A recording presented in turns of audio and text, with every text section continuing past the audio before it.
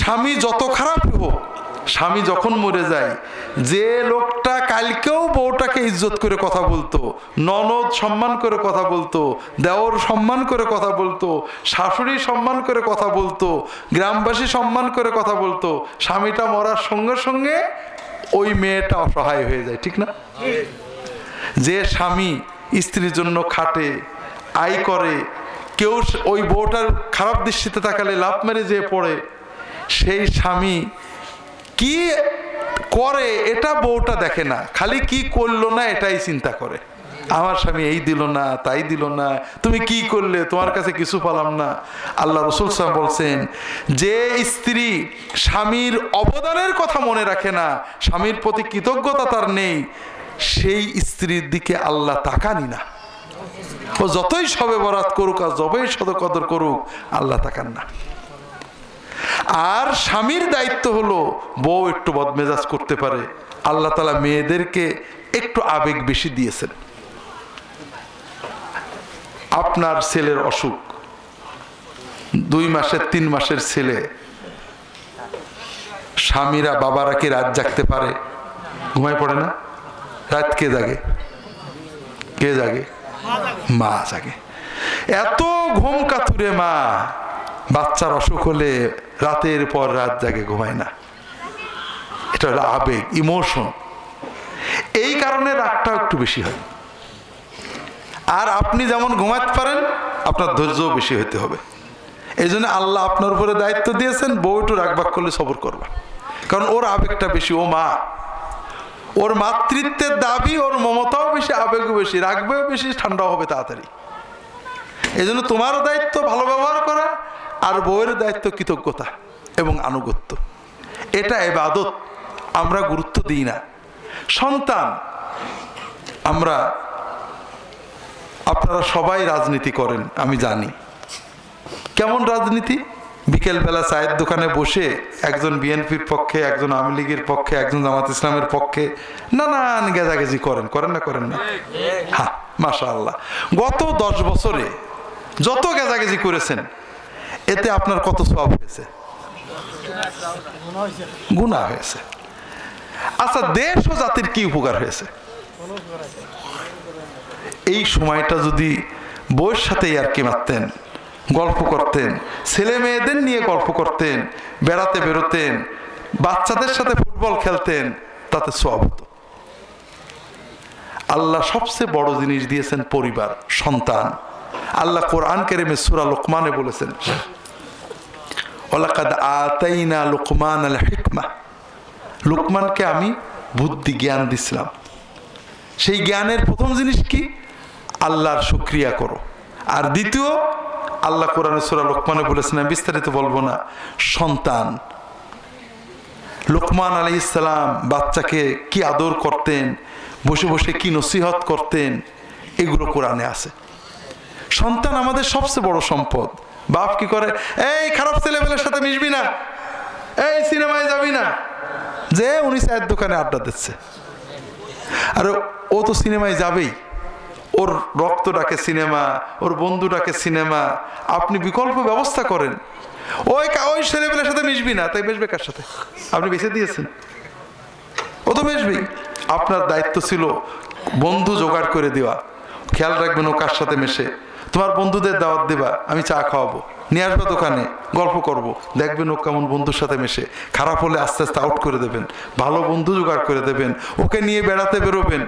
ওকে নিয়ে জামাতে মসজিদে যাবেন। কথা বোঝেননি? বড় সম্পদ কি? টাকা? দোকান?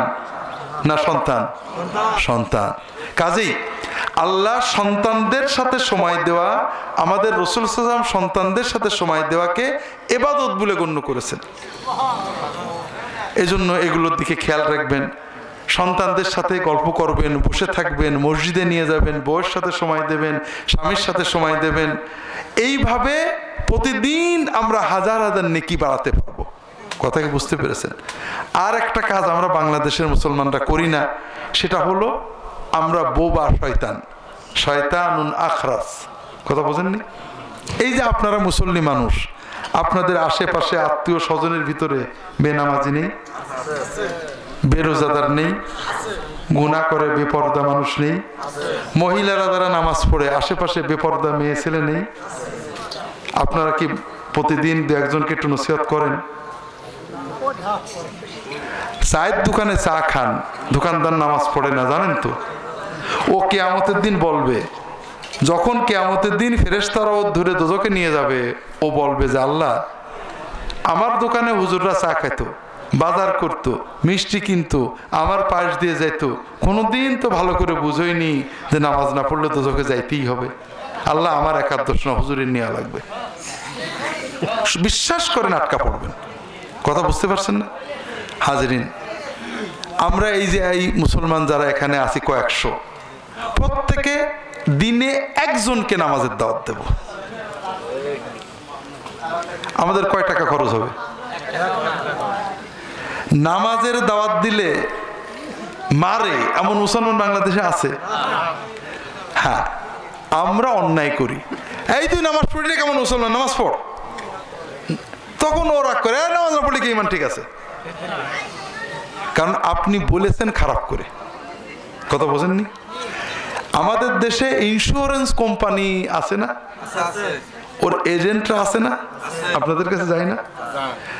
অনেক বুঝই বুঝানোর পরে আপনি যখন এই বাদ দে সব চিটারি। ও কি গাল দেয় নাকি? রাগ করে। কেন করেন? ওর রাগ নেই? ওর রক্ত মাংসের মানুষ না? তো রাগ করে না কে? হ্যাঁ ওর একটা ব্যবসা আছে। ও জানে তেল টেল মেরে কোনো রকম আপনাকে ঢুকাতে পারলে ও কমিশন পাবে। আপনারও একটা ব্যবসা আছে। কার সাথে? কোন রকমে একজন মানুষকে যদি মসজিদে ঢুকতে পারেন, ও জীবনে যত নেকামল করবে, ওর অসিলায় জীবনে যত নেকামল হবে কেমন পর্যন্ত আপনি একশো পার্সেন্ট কমিশন পাবেন। কাজেই আল্লাহর কাছে ফজরের নামাজ পড়ে কাইন্দে কেটে, আল্লাহ, আজকে ওই কাস্টমারটা ধরবো। আল্লাহ, তুমি দয়া করে আমার মাধ্যমে ওকে মসজিদে নেবে আর কেউ যেন চান্স না পাই আল্লাহ, আমি ওকে মসজিদে নিয়ে আমি জান্নাতে যাব। দোয়া করে বেরোবেন। ওর ধরবেন। ও একবার না ধরলে, ভাই, একটু চল, একবারের জন্য চল। তোর আমি মসজিদে নিয়ে আমি আল্লাহর জান্নাতে যাব। দেখবেন ও চলে আসবে। জোকের মতো ধরবেন। যতই রাগ করুক, কিছু বলবেন না। আদর করে, কারণ আপনার বিজনেস আছে, কার সাথে? হ্যাঁ। কমিশন এজেন্ট এত রাগ, কিন্তু ও বিজনেসের চিন্তায় রাগ করে না। আপনি রাগ করবেন না। যদি এক কথাই চলে আসে, তাহলে সব বেশি, না, পাঁচবার গাল দিয়ে রাগ করে আসলে আপনার সব বেশি। কাজে আপনি খুশি হবেন, আলহামদুলিল্লাহ, ভালো কাস্টমার পাইছে, সব বাড়তেছে। ঠিক আছে না? কাজেই ভাইরা প্রতিদিন অন্তত একজন মানুষকে একটা ভালো পথে দাওয়াত দেবেন। দিনের দাওয়াত দেবেন, কোন দলের না, আপনার দল থাকতে পারে। কিন্তু মুসলমানকে আল্লাহর পথে ডাকবেন, নামাজের কথা বলবেন, হালাল খাওয়ার কথা বলবেন, বউয়ের সাথে ভালো ব্যবহারের কথা বলবেন স্বামীর সাথে ভালো ব্যবহারের কথা বলবেন, ছেলে মেয়েকে কোরআন শেখানোর কথা বলবেন, পর্দার কথা বলবেন, যেগুলো আল্লাহর কোরআনে নবীর হাদিসে স্পষ্ট আছে, ওইগুলোর দাওয়াত দেবেন। এরপরে ও কোন দলে গেল দেখ না কেন, সমস্যা আছে। দুনিয়ার কয়দিন আমরা জান্নাতে ইনশাল্লাহ একসাথে থাকব। আল্লাহ তালা সবাইকে তৌফিক দান করুন, আমিন। আমি আর আলোচনা করছি না। যে কথাগুলো বললাম, জীবনে প্রতিফলিত করার চেষ্টা করেন, আল্লাহর দিনের দাওয়াত, এগুলো করবেন, পরিবারকে সুন্দর রাখার চেষ্টা করবেন।